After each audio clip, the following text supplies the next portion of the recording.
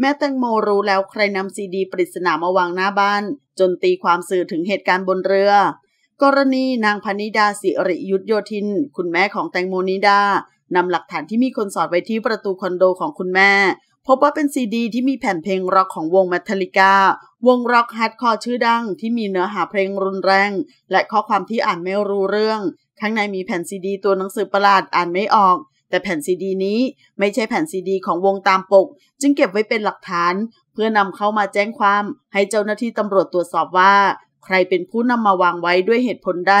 จึงหวั่นเกรงว่าอาจจะเป็นการข่มขู่จากผู้ไม่หวังดี ความคืบหน้าเมื่อวันที่ 1 มีนาคม นางพนิดาเปิดเผยว่าทราบตัวแล้วว่าใครเป็นผู้นำซีดีแผ่นดังกล่าว มาวางเอาไว้